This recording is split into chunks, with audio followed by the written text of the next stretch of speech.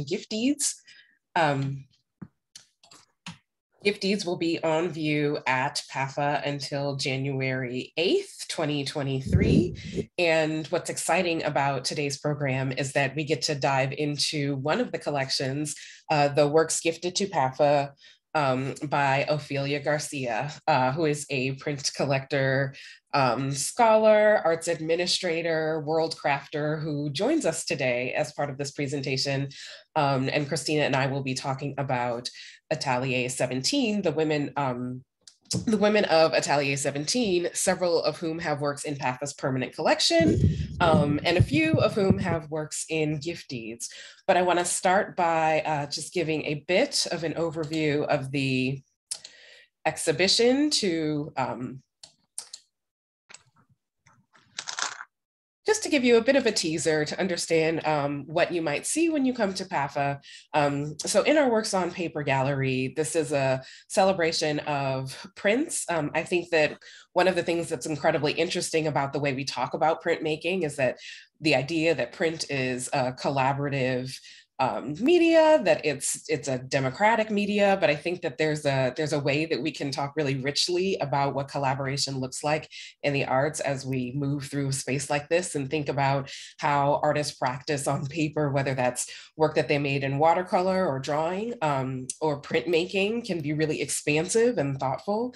Um, and this is just a little bit of a teaser to get you to come to PAFA and see the exhibition um, and spend some time with the works um, and just you know appreciate the the breadth of visual influences that all of these artists are drawing on in this exhibition um, before I turn our conversation over to our esteemed scholar joining us today. Um, so today we will be talking to Christina Weyl, who is an independent scholar and curator with expertise on 20th century American printmaking. Dr. Weyl received her BA from Georgetown University and her MA and PhD in art history from Rutgers. Her recent book, The Women of Atelier 17, Modernist Printmaking in Mid-Century New York, published on Yale University Press, highlights the nearly 100 women artists who advanced modernism and feminism at Atelier 17, the avant-garde printmaking studio located in New York City between 1940 and 1955. With the support of a major grant from the Getty Foundation, she is currently co-curating an exhibition with Lauren Rosenblum for the International Print Center of New York, focusing on Margaret Lowengrund and her pioneering effort to establish the contemporaries as a hybrid printmaking workshop slash gallery. Dr. Weyl has published in Art in Print, Print Quarterly, and Archives of American Art Journal, and contributed to several anthologies and exhibition catalogs. From 2014 to 2018, she served as co-president of the Association of Print Scholars, a nonprofit professional organization she co-founded in 2014.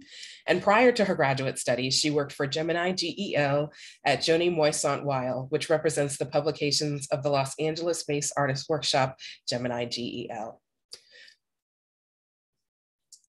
And without further ado, um, I would love to turn the virtual podium over to Dr. Weyl. Thank you so much, Brittany, and thank you um, to you and Lori for inviting me to speak today. Um, I just want to say if at any point, Lori, my uh, connection uh, fails, just please let me know and um, we'll try to see what we can do. I moved, so hopefully it'll be better. Um, let me screen share.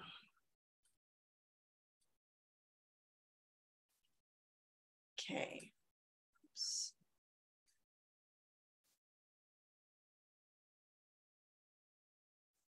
All right. Um, so anyway, I'm, I'm, as I said, very happy to be here um, speaking to you and appreciate the opportunity to um, talk to this community um, at PAFA. Um, as both alluded to, I'm going to speak about women artists who were active at mid-century, who were members of Atelier 17, which was this avant-garde printmaking studio um, in New York. And we'll talk a little more about what Atelier 17 was. Several of the women who I'm going to speak about today are part of the Ophelia Garcia collection. Um, but what I really want to draw out today are the networks of sisterhood that these women built inside mid-century print studios um, that fostered lifelong friendships and spurred professional development. Um, Atelier 17 was a relatively egalitarian um, institution with fewer barriers to entry for women, um, and it offered extraordinary opportunities for professional advancement, which these artists welcomed as gender equity um, and equality were otherwise incredibly limited um, elsewhere in the arts community at mid-century. So before I dive into the case studies I have, I just wanted to give this quick overview of what Atelier 17 is since I, or was, since I imagine there are some attendees who may not be familiar with it. Um, Atelier 17 was an experimental printmaking studio that was founded by uh, Stanley William Hayter, um, who you can see here in his um, full glory. Uh, he had a passion for uh, for engraving in particular, but printmaking in general. Um, he was a charismatic character, uh, and um, probably the only thing that rivaled his love of printmaking was his uh, love of tennis. Um, Atelier 17 opened in interwar Paris in 1927. Uh, it moved to New York City in 1940 uh, because of World War II, and it remained in New York City till 1955. Uh, the workshop was initially located uh, within a classroom at the New School for Social Research, um, which you can see pictured on the left. Uh, and after five years, Hayter decided to break with the new school and moved Atelier 17 to a loft on East 8th Street, which you can see on the right. Um, and as you can see in this photo on the right, the space was fairly makeshift in comparison with the new school setting with electrical lights held in place by strings and curtains that were falling off their rods, um, other artists spoke about the um, very noisy and gassy radiators, um, the ink that was all over the place.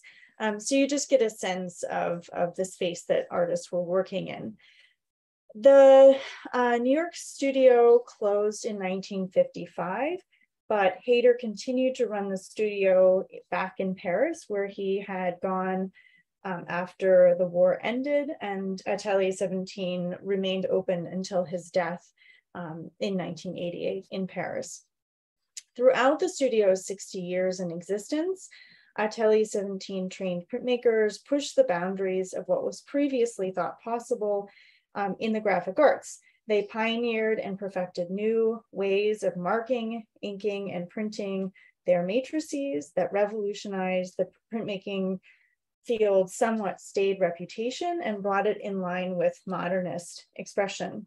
Um, and a couple examples I like to give of what are some key breakthroughs that happened at Atelier 17, particularly in this mid-century period when it was in New York City, are um, illustrated on this slide. On the left, you can see the enlargement of an engraved line um, this is a technique that was particularly important to Atelier 17 and to Hayter. Um, but you can see how much that line becomes embossed when it is printed onto a sheet of paper. And that's because the engraved line is so deeply cut into a copper plate. In the center, you can see an example of soft ground etching um, in a print by Sue Fuller that's called uh, cock. And the soft ground etching is the very lightly gray lace that you see in the back. Typically soft ground etching before Atelier 17 um, was used mostly for transferring a drawing where you would put a sheet of paper over a soft grounded etching plate and then use a very blunt stylus like an eraser or you know something that could um, transfer a line from the paper through the paper to the to the um, to the plate. In any case, artists began to really explore um, different textures that they could put on the plate. And then finally, the example you see on the right is a print by Stanley Hayter called Cinq Personnages from 1946, which is a breakthrough work demonstrating the development of what became known as simultaneous color printmaking, or you'll also see it referred to as viscosity printing, where artists could print multiple colors on the same plate by varying the amount of oil that they put into their ink and varying uh, the rollers and how they roll the ink onto the surface of the plate. So it was a major time saving um, uh, technique. Otherwise, artists have to print each color with a separate plate. You know, as many colors is as many passes through the press, and it's much more time consuming. Um, so my focus today will be to discuss some of the bonds that um, were shared between women artists who worked at Atelier 17 in New York City. Uh, many of these women artists are central to my book, um, which uh, you can see here. And, and here's the major artists who are um, featured in the book, Louise Bourgeois, Minna Citron, Worden Day, Dorothy Dehner, Sue Fuller, Alice Trumbull Mason, Louise Nevelson, and Anne Ryan. Um, and I focus on these eight because they had the most um, sustained engagement with printmaking, um, and it was, they had a corpus of works that I could look at, study, um, and also had uh, archives that I could access to learn more about their interactions with printmaking. Um, the argument that my book makes is that these women and others, so there are, we'll see about almost 100, um, bent the technical rules of printmaking and blazed uncharted aesthetic terrain with their etchings, engravings, and woodcuts. Uh, and working in Atelier 17 facilitated their engagement with modernist styles and fostered solidarity among these women which provided, in some cases, inspiration for feminist collective action in the 1960s um, and 70s. And so when I usually talk about what I research, most people will be familiar with um, the two Louises, Louise Bourgeois and Louise Nevelson, um, or they'll know that Atelier 17 was the place where Jackson Pollock made prints, or um, other canonical men who were part of the post-war New York School or abstract expressionist movement, such as Robert Motherwell or Mark Rothko. But um, I wanted to know more about the nearly 100 women who, uh, who made prints there. So when I started my research, I worked from a list that was in a 1977 exhibition catalog, which was commemorating the 50th anniversary of Atelier 17's founding. And at that point, there were only 51 women listed on that um, list. But over the course of doing my research, I was able to expand the list to 97 names, which you can see here. But it bothered me a lot that I um, often knew nothing about who these women were besides just a name on the page.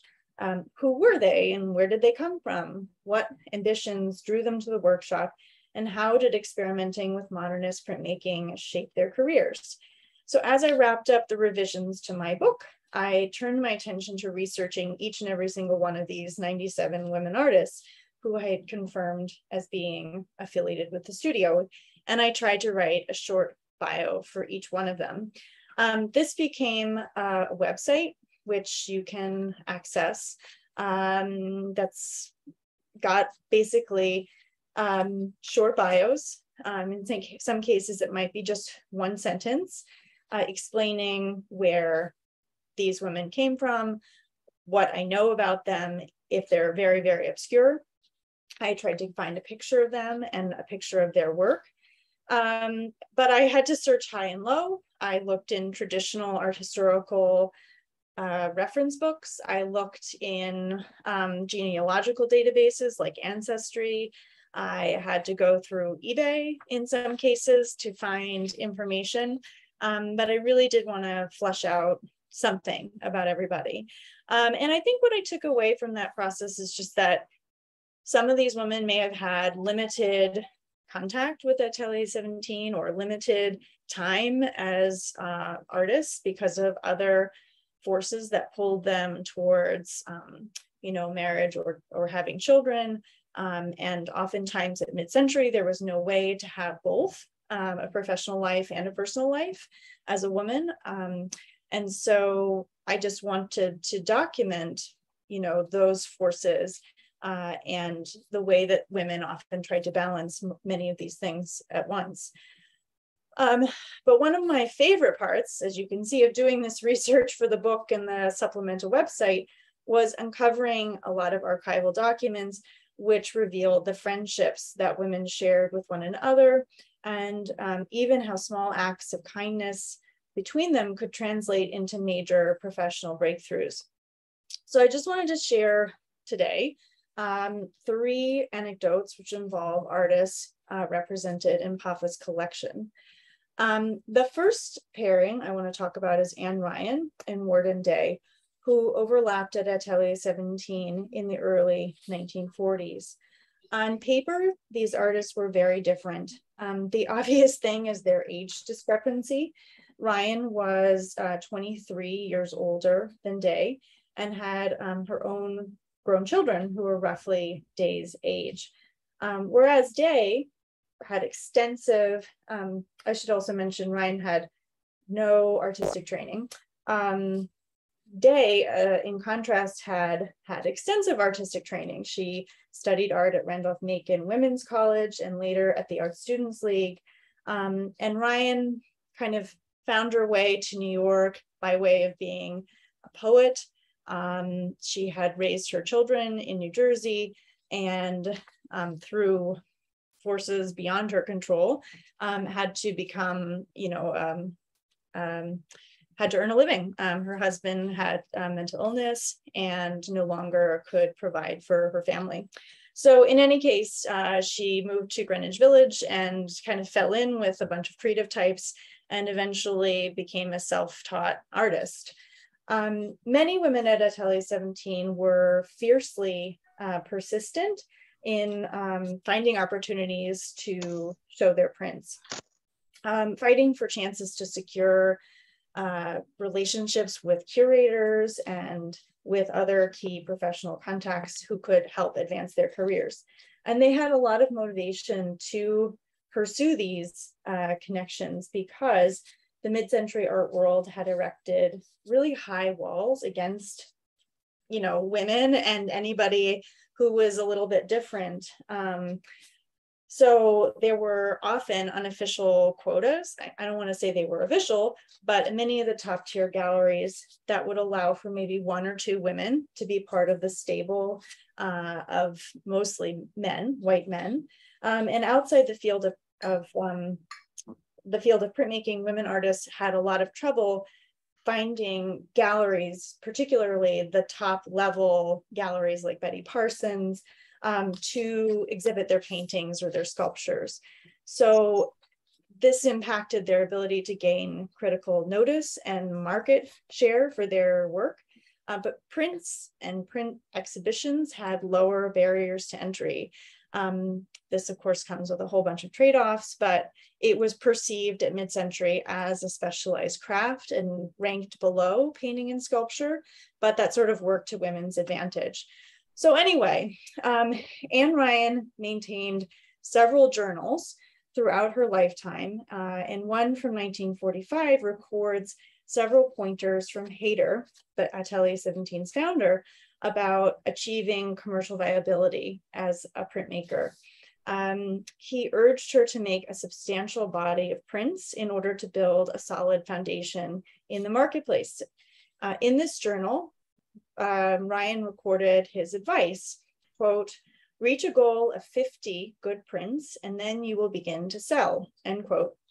But he cautioned um, against becoming overly involved in the production of prints and ad advised her to prioritize publicizing her work. Um, then she records in her notebook um, that he suggested, quote, about one third of time is given to the making of prints and two thirds to marketing, mailing, seeing dealers, etc. End quote. So Hayter's advice can only account for so much in affecting the direction of, an, of um, the mid-century um, print market individual artists had to be scrappy and apply themselves doggedly to finding those exhibition and sales opportunities. And Ryan was among the one of the most motivated of Atelier 17, Atelier 17's members, and her notebooks capture an unwavering level of activity.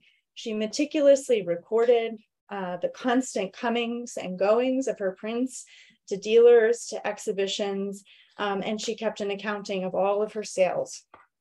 Um, Cassiopeia, the print that you see on the right and part of the gift uh, to PAFA from Ophelia Garcia was among a small group, a group of small uh, circular prints representing the celestial constellations that Ryan created initially at Atelier 17.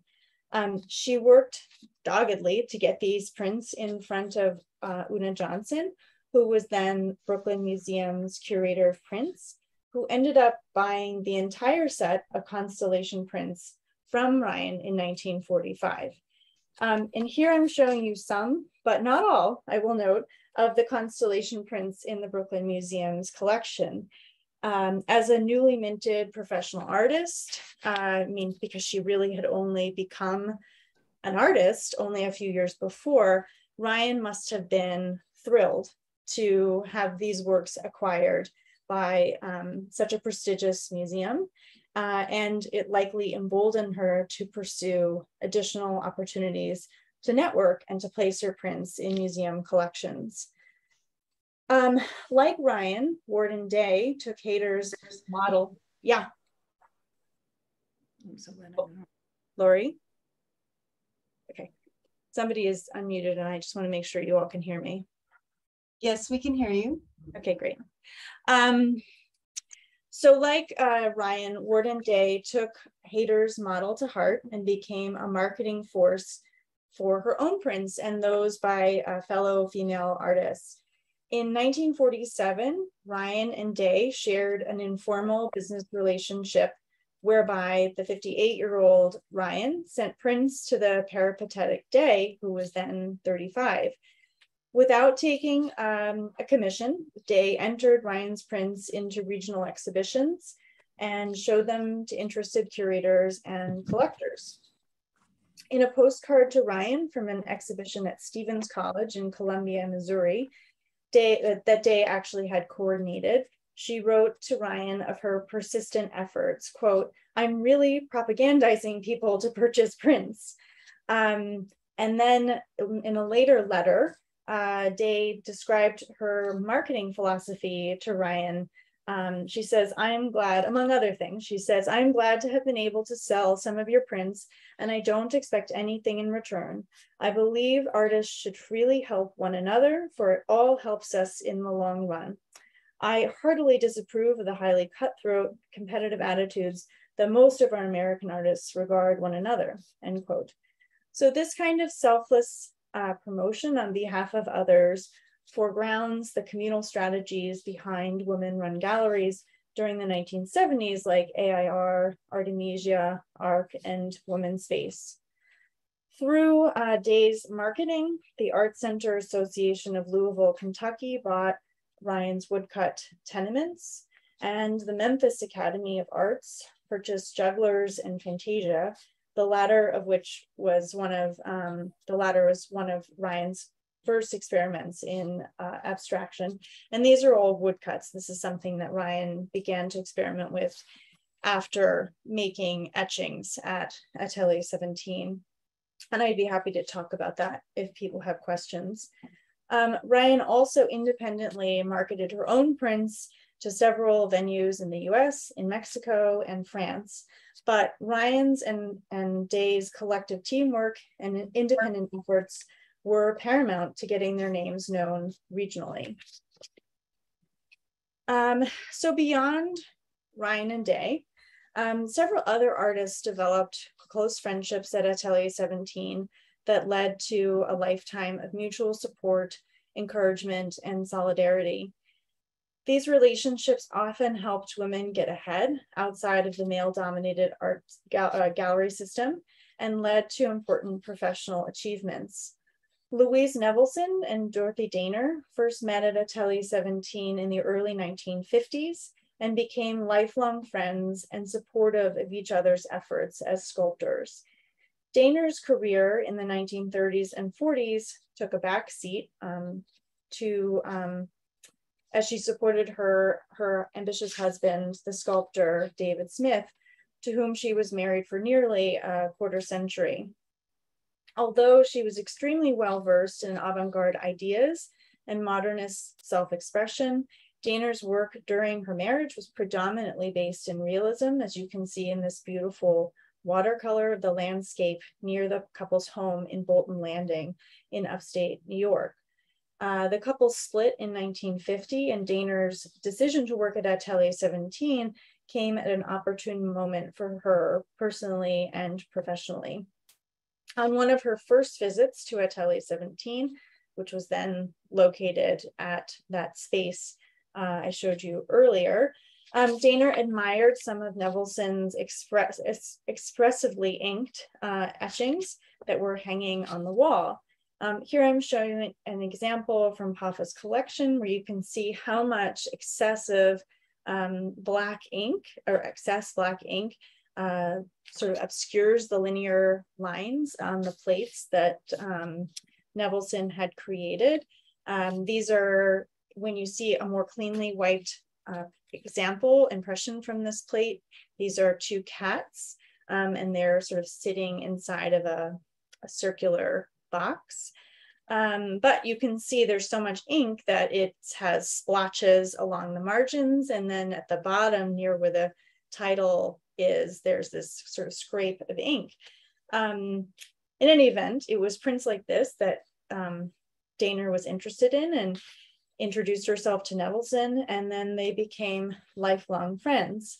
Um, the experience for Dehner of working at Atelier 17 reignited her early artistic attraction to working in three dimensions, something that she had put on pause while married to David Smith, who was making a name for himself as a sculptor.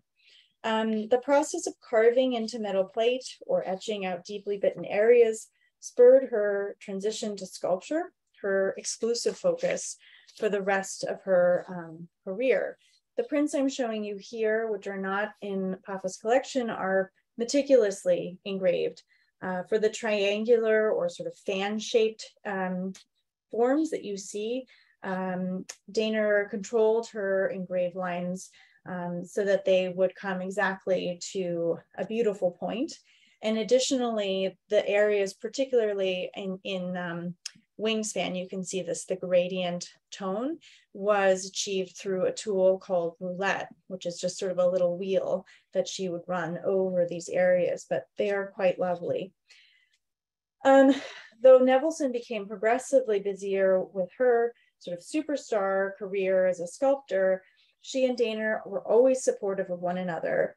Um, shortly after meeting, Dehner photo photographed Nevelson's um, sculpture in her home on uh, 30th Street in New York City, which was one of the first times that Nevelson had ever had her work professionally photographed.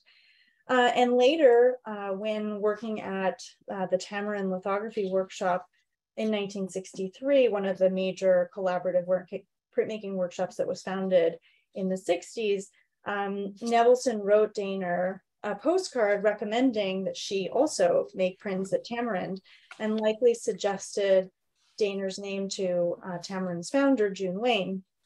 And here you can see examples of the glorious work that they created there. Um, and I would add that the scale of these prints is much, much, much larger than anything that the artist did at Atelier 17, which shows a sort of growing confidence in their printmaking skills.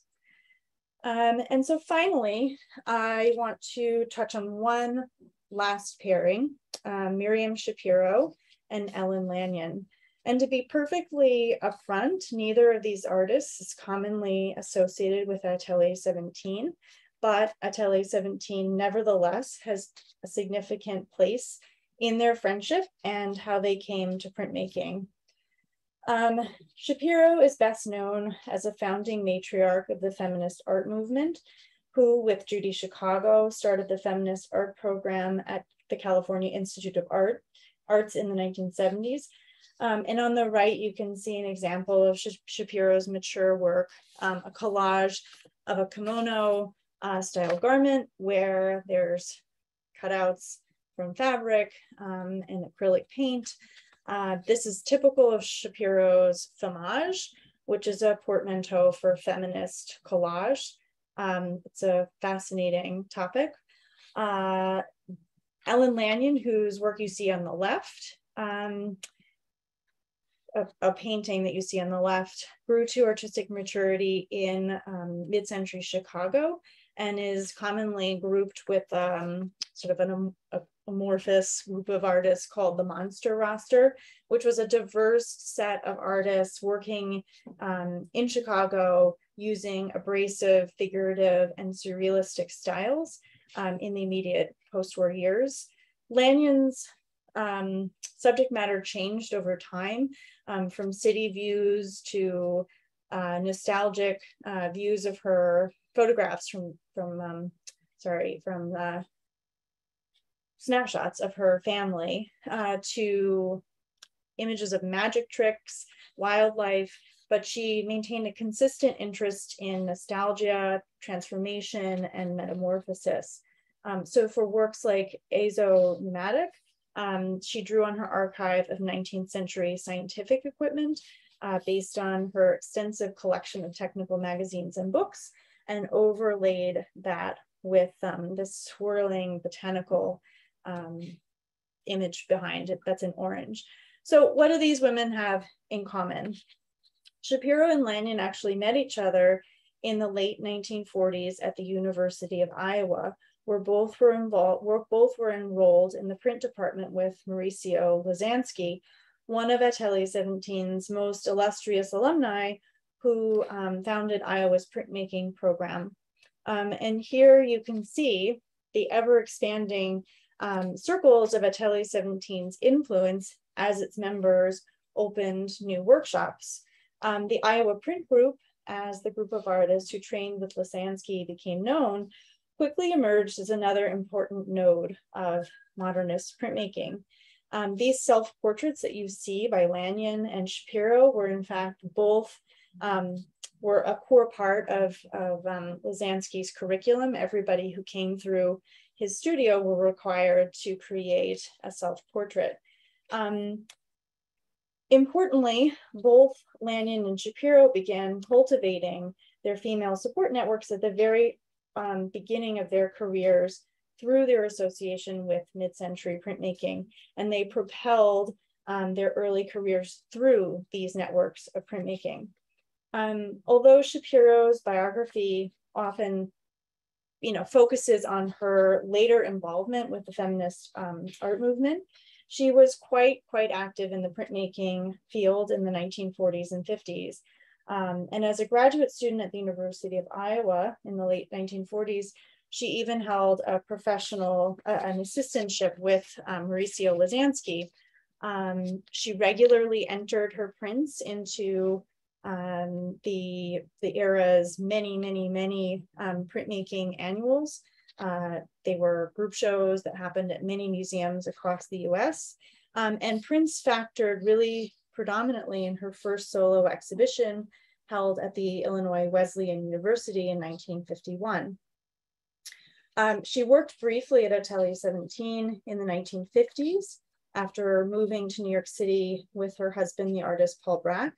And they spent um, that summer, it's, it's, actually an interesting story. They spent that summer that they were in New York uh, sub, subleasing Isamu Noguchi studio. Um, Schapiro's affiliation with both the Iowa Print Group and Atelier 17 allowed her to develop um, bonds with similarly minded um, independent women. At the University of Iowa, Schapiro and Lanyon met and became lifelong uh, friends. And Lanyon later helped Schapiro jumpstart um, the feminist art movement. As Lanyon remembered in a toast for Schapiro's 70th birthday, quote, we were both feminists before we had a name for it. And Mimi, as Miriam was often called, was the strong, strong and positive mentor to me, end quote. Um, and so when Schapiro and her husband left um, Iowa to go to New York, um, Schapiro ensured that Lanyon got her job uh, as the assistant to Lasansky. Um, and I love this photo from the Schapiro archive where you can see Miriam sitting at the table surrounded by fellow uh, artists in the program who seem to be reviewing um, recently pulled um, impressions of prints that have been tucked up on the wall. Uh, 25 years later, Lanyon Schapiro, Judy Chicago, who was Miriam's collaborator um, at the Feminist Art um, Project, and feminist uh, critic Lucy Lippard founded the West East Bag, which was a short-lived international organization of local affiliates that brought together women artists living one another to meet to organize and to protest their marginalization in the gallery and the museum world. Lanyon ran the Chicago chapter of WEB, as it was called, and Schapiro organized the Los Angeles chapter, because at that point she was out in California, and Lucy Lippard ran the New York branch. But again, it's so interesting that they they all came back to one another and the, these relationships that they they founded in the, the 50s and the 40s. Um, so although Schapiro and Lanyon involved as separate individuals through the 50s and 60s, I, as I said, I think it's fascinating and really telling that their feminist interactions in the 70s had roots leading back to their exchanges inside the mid-century printmaking studio. Um, so many artists returned to these connections that they had made decades prior inside the messy and ink-filled printmaking laboratories of their youths. Um, nestled within the post-war print community, this vibrant woman-to-woman network carried many of the hallmarks of feminist activism, um, embracing collective advancement and mutual support. Uh, women taught women, women promoted their fellow sisters' new editions or current gallery exhibitions, uh, and they supported each other's business ventures in the print world. Um, whether at Atelier 17 or um, another site like the University of Iowa, uh, these graphic arts workshops had a remarkable, remarkable capacity to nurture these networks of sisterhood that grew over time and in some cases did lay the cornerstone of feminist activism. Um, and I think it's important to remember that feminist art didn't just kind of become this fully formed thing uh, but that there were these incremental developments and chance meetings um, and evolving friendships like those that were shared between Lanyon and Schapiro, um, Nevelson and Dehner that uh, were essential to generating these component pieces that jump-started the movement. Um, and so with that, I wanna stop talking and see if anybody has questions. Um, I'm happy to talk some more with Brittany or answer questions. Yeah, Christina, I have to thank you so much for that incredibly rich discussion. There's um uh, there are a few things that I'm excited to to dive into and think with you about um in in terms of this work. Um one, I just, uh, you know, I have to drop a link in the chat to this amazing biographical supplement um, platform because of the ways that, like, it's such a, it's such an incredibly generous way to to make sure that the scholarship gets out to the public in a way that's accessible and findable. Um, you know, my uh, co my colleague and curatorial here at PAFA, Anna Marley, is on this Zoom, uh, and she and I have co-taught uh, courses um, on women in art. And we have so much conversation around just like the difficulty of finding information about artists when you get interested in them and the frustration um, that so many people have had with, you know, if I find incredible work by this artist, why is it so hard to find material about them? Why can't I figure out what their technique was, where they trained, where they exhibited? And so I wanted, um, to just really commend you for this platform and also just ask if there were can you just talk a little bit about how difficult it was to assemble the information? When you said you were searching high and low and looking on ebay i was just really struck by the kind of dogged uh, commitment to hunting down all that information just the requirement of that and the, the time commitment. Um, so i just love to hear you talk about that a little bit yeah, it was um, a hundred percent a labor of love. Nobody paid me to do that, um, and but I I wanted to do it. So you know, some people, some artists were easier than others because some artists have given their papers to archives, and that's fantastic. Um, I see we have on the Zoom call uh, the, the, granddaughter of one of um, the artists who had the foresight to donate her papers, Minna Citron. Um, and so those were great resources. Hi, how are you? Those are great resources to be able to access. But for others, um, yeah, you're right. It is very frustrating. It is a process. I mean, I had I had like a million tabs open. I was checking newspaper aggregators. I was checking, you know, Internet Archive. I was checking everywhere. I even employed my father to do genealogical research for me on, on Ancestry because you have to have, I mean, at this point, I'm pretty good at, at finding what I need, but that itself is like a real skill to be able to go into one of these genealogical um, websites and know how to find a person. And they're there, like they are 100% there. It's just so frustrating with women who often change their name with marriage um, to find what their given name was when they were born and then to match them up with who they became you know after they married and and all of that and then like track to where they went um, so those like teeny tiny little clues um, could open up a whole uh, avenue of exploration, like finding where they went to college. Then you could go to the university archives and find like a picture of them in the yearbook or find um, student newspapers that might talk about them being enrolled in the art program or what have you. You know, there the information about these people is out there. It's just hard to find. Yeah, but I think there's there's a really um, impressive way that that kind of meticulous research is like becomes the making of art history in ways that it's easy for um, you know people who are not in the, in the practice of scholarship or in the practice of uh, writing these incredibly rich texts um, might not think about. And so the you know for artists on the call please save your papers uh, um, i think that there's i think there's really something to that just the that what's what comes through um, in a way that's really sort of moving and impressive is not just the stories and the networks you uncover, but everything that it requires to do that. And so I also, um, you know, I want to encourage everyone to uh, drop your questions in the chat um, or uh, please use the reaction function to raise your hand if you have a question. Um, but in the meantime, I also was really interested in the way you think about feminism in this work. I mean, I think that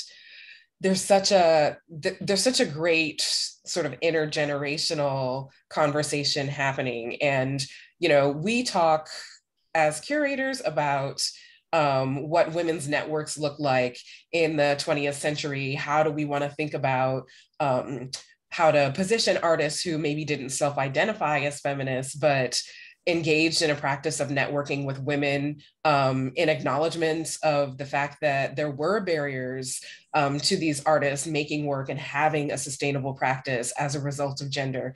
Um, and, and I think that you teased this out in these really um, granular ways. So if I can plug the book for um, people, like one of the things that I think is really interesting is the way you think about, you know, getting dirty, the sort of the inky fingers problem. Um, I think that's really interesting. There's a there's a way that the the relationship to printmaking um, technology is incredibly gendered. Um, the fact that you know, Anne Ryan has this notebook where she's getting this advice to spend a third of her time making prints and two thirds of her time publicizing her prints. Um, and and you know the ways that we we know you know for for women who have marriages and and children what does that look like? How is that possible? Um, what does it mean that you know she has this network of women who who can take on um, some of that work for her? It it allows us to have a feminist reading of all of these incredibly rich things that are happening among these women artists even though they didn't self-identify as feminists yeah i mean 100% i think um, you know, I try not to put the feminist label onto any of these artists unless they explicitly came out and said that they were. Um, and there were only really, I think, a handful that that were like so um, em- embraced that label um, that come from this generation. One in particular would be Minna Citron, who like really even in the 1930s was like yes i she had this amazing show in the 1930s called feminanities where she was playing with this idea of feminism and the inane that she felt like women in this post suffrage period were like losing their civic engagement. And i see christy wants to say something but um and and and so i think that that i was very careful not to put that label onto anybody but to see how some of the activities that they were doing were proto-feminist in a way um, i think that's really important to distinguish can i say something yes um, please. I, I what i particularly love about christina's overall research is um, showing the falseness of this idea that feminist art began in the 70s. It has so driven me crazy when Minna, you know, for many decades before, and as Christine has now shown, these other women, I mean, it was definitely um, a strong women uh, feminist thing. And yeah, maybe some of them didn't use the label, but definitely this was going on. And I'm so grateful to Christina for showing that because for many, many years it has, as a feminist myself, um, just driven me crazy when people say, oh, it started in the 70s. Yeah, yeah. I also, and, oh, go ahead. no, I was just gonna say I also appreciate the the sort of broad lens of even just noting um, uh, you know, I love the idea of like the Black Thumb Club and the double standards around, you know, if if men got ink, um, like the inky thumbprint in the margin of their prints, it, it, it signaled something um, different than like the idea that, you know, when women had the inky thumbprint in the margin of the prints, it was like a reflection of a sort of messy technique that didn't, that didn't sort of attach to male production. But even like that, that is something that, that comes from the way artists the way art critics are writing about the prints or the way the audience are receiving the work that that's not coming from artists. I mean that kind of um like the the generation of that as a double standard is is it's just a sort of fascinating um element to, to this conversation. Yeah and i would just add in my uh, current work about um this other artist mid-century female printmaker margaret lowengrund um, you know, she opened a studio in 1951. Um, unfortunately, she died in 1957, so the studio was only open for a brief period.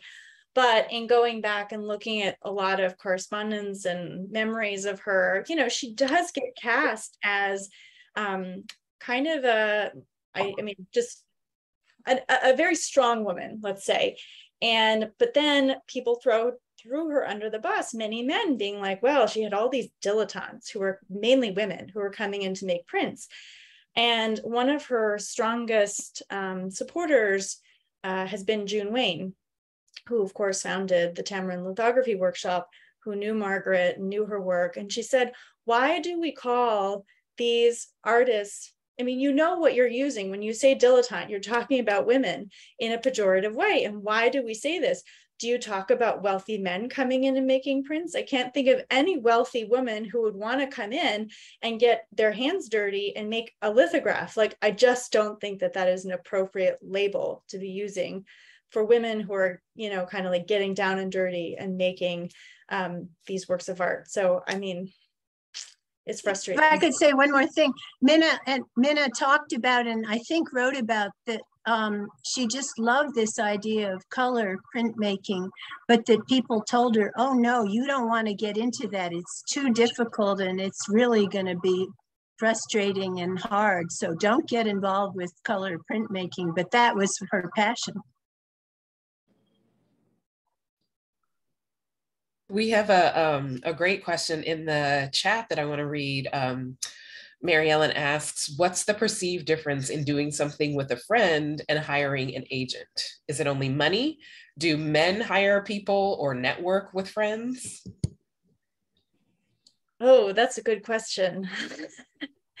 um, I would say in in the period I'm looking at, no one really hired agents. Um, in in the in so fact that like I don't I, a gallery would maybe be your agent. Um, so I think men had a much easier time getting getting galleries to take them seriously um, because they had often more time to be producing and making at a consistent clip. But um, yeah, I don't know. I mean, it's it's it's interesting to see in these letters that are that are in the, these various archives, like um, the rare instances of women interacting with men and making those kind of networks. It's it's unusual in my experience.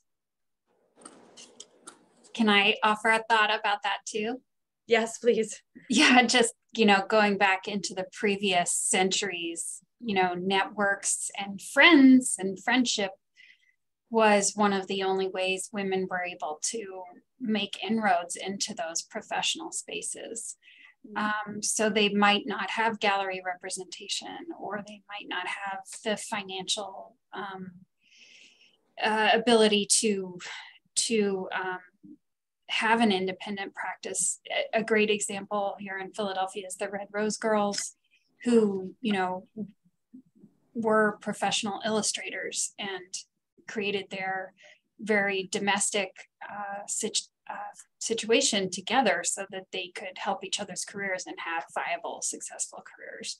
So I think of of networks of women as a, a sort of a, a, at least very very predominant in the 19th century that these 20th century women were adapting but definitely it is it is very gendered but there were also probably there were also you could trace networks of men too through social clubs and dealers and uh, things like that. But it's also interesting to, you know, when you when you talked about um, uh, Anne Ryan and Worden Day, it's it's really fascinating to think about you know even today that you you still have these kinds of networks i mean i think about how often i as a curator um, will learn about an artist um, from another artist saying um, oh you know whose work is really incredible that i wish more people would pay attention to um, and then they'll name someone in that way or a, or a collector might do that. There's a there's a kind of um, you know there's a continued salience of of that that practice that networking practice that still um, comes out in the work that we do um, and i think is reflected in the you know the fact that we we are doing this in association with the show of prints that are gifted to PAFA by a phenomenal uh, woman, Ophelia Garcia. Um, I wanted to ask Ophelia if you had uh, anything to add or any questions for us while we're while we're talking about women's networks and art? Well, hold on. Well, uh, first let me say that it's a, a terrific experience to uh, see these old friends now on your walls. Um, I uh, so I'm, and it was a surprise, and I'm delighted uh, to see them. Um, I found that uh, early on in my collecting, I collected anything I was interested in. Uh, and as time passed, I began to give prints away. Um, I, I like to say I gave my men to New Jersey. And when I moved out to Philadelphia, uh, came with uh, the works by women because I had a sense that together um, it might have an impact in a way that that separately they might not. And that's just the ignorance and, and the failure of institutions and others to collect along the way.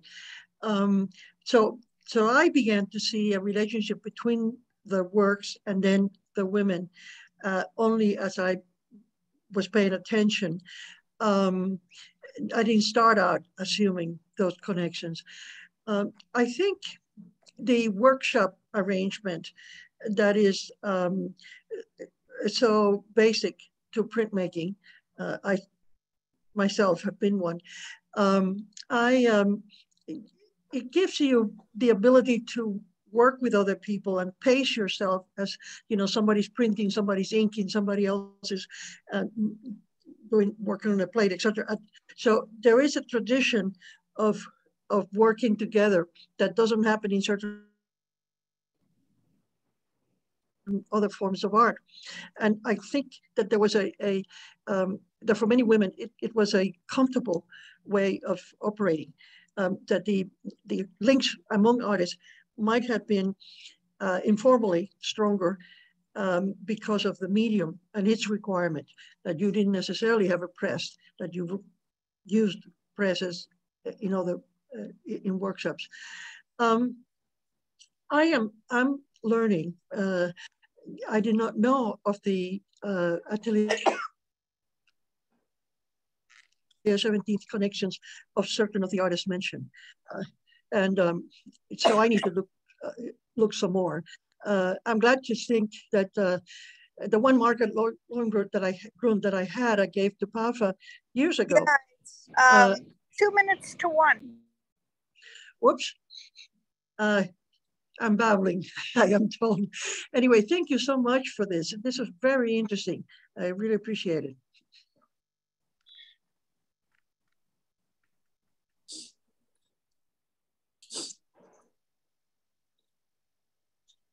Um, you definitely were not babbling, Ophelia. it was very interesting. We have a couple people that have unmuted themselves. Are there more questions to bring in? I have a question, but I also may have noisy children in the background, so excuse them. uh, no. um, my question is uh, if during your research, if you found any examples of the lineage of these women still being present in the printing community today, an example where you may have found a woman and uh, that viscosity printing or something from the atelier still being used in the school associated and where she ended up living or something like that the lineage still maintaining its its ground even though the woman herself may have been invisible to the rest of us. Um yeah for sure. I mean a lot of these women were um not not around by the time i started but um i as soon as i figured out like who their people were um and i could get myself in touch with them um you see that their legacies were continued in printmaking workshops, um, in friendships, in work that those friends who I did get to talk to got to make. Um, thinking in particular, somebody like Sue Fuller um, has had uh, a sort of lasting impact on how people make prints. I mean, if you go to a printmaking workshop, um, you'll see often a, a, jar of Karo corn syrup um, in the cupboards because it's something she helped to sort of perfect a method of making um, lift ground etching. Um, so yeah, her presence is still in printmaking workshops. Um, you know, and and these again, these legacies of of women in the printmaking field are still very strong. Um, it's something that I eventually hope to be able to tackle work on um, women becoming really leaders in in the print field in the in the 80s and the 90s and even into today but you know they wouldn't have gotten there without the role that these women at Atelier 17 and other um, printmaking studios like because of them it's because that we have women in printmaking today Thank you. I think that's beautiful when the lineage of a group of people or an artist carries on in that way. And the more that people like you talk about them or spread that knowledge out, it just continues to grow and build that hunger for others to want to look into their background. And uh, I remember I was at the at the academy and uh, looking at things like uh, Morris Blackburn's work was still floating around at the time. And that's my mentor, Pat Witt. That was her mentor. And when the lineage of things like that carry on, I think it's just, it's beautiful. Yeah. Thank you. Well, I, I see we're at one o'clock, so um, I think that's a great place to to end with you know thinking about lineage and and how the work continues on. I want to uh, thank everyone for joining us today for this for this noon talk. Uh, extra special thanks to Dr. Weyl and your incredible work here. Um, I think that we'll all be thinking about this and, and reading about this for a while. Um, again, special thanks to Ophelia Garcia for continuing to be an incredible partner in the arts um, as we do this work and spawning this conversation. Um, and I hope everyone else has a great rest of your day.